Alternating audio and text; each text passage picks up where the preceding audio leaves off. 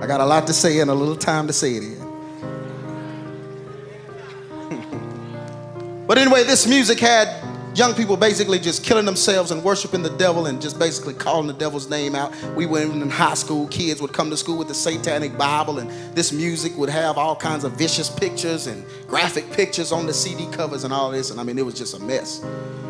I remember watching, a, and my mom had it on videotape. We watched a, a, special on 2020 about the effects of heavy metal music, how it was causing people to kill and all this. So even the country acknowledged this big move of the enemy.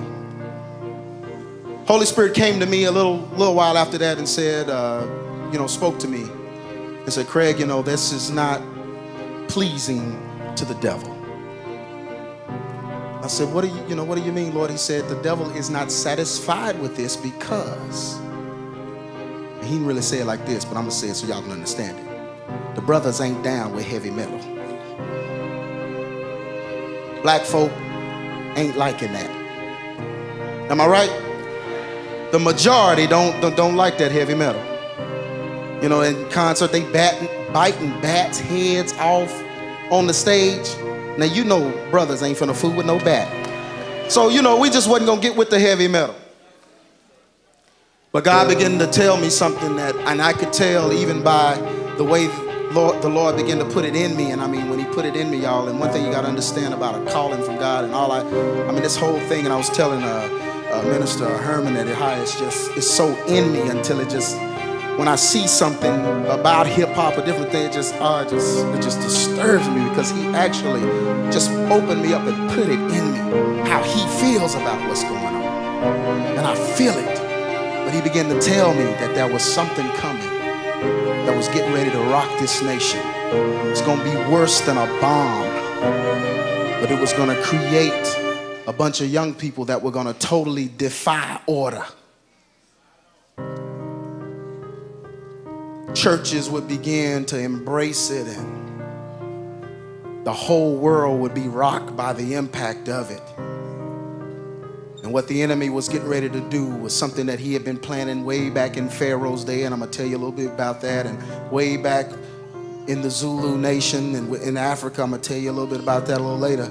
But he began to prepare something to catch and captivate the minds of America and pull them straight into his own belly. And that form of music that he was forming was what we know as the hip hop culture. And at the time, it seemed a little unbelievable because God began to tell me how the black youth would begin to actually worship the devil. How church youth, church youth would actually worship the devil. How grown church folks would actually begin to worship the devil. And it just, I just couldn't believe it. I said, I don't know how this is going to happen. I just can't see it. And I remember flipping through the channels one day and I landed on the box, Brother Tony, and I looked at the box and I, there was a video that popped on and it was by a group called Almighty RSO, which now they're called the Made Men. And I don't even remember the name of the song, but the Holy Spirit just told me to sit there and watch it. But, but I remember the brother had a flat top, and in the back of his head, he turned around during while he was rapping. You know how they do, you know. You know, you can't have, you, well, you really can't understand what they saying. I think that's why it's so popular, because they can say stuff you can't understand. But they's rapping, you know, and doing their thing, you know, and I'm like, you know, what is this, you know? Brother turns around, and in the back of his flat top, he had 666 cut in his head. A brother. Look at your neighbor and say, a brother. Now that, that scared me because, you know, we don't play with the devil like that. I said, oh my goodness. The Holy Spirit spoke to me and said, Craig, get ready. Get ready. And that just blew my mind. I think I called everybody I knew and told them. I mean, it just, I just could not believe what I just saw. That's, I mean, just, oh. Isn't that kind of unbelievable? Rap song.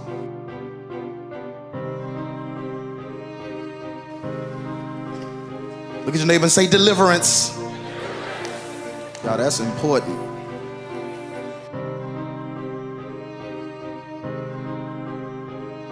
Some of y'all may not know any of these videos. Y'all may not know any of this.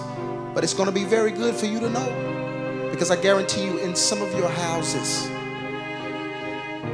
I mean, I know some of you are really saved, but in some of your houses, the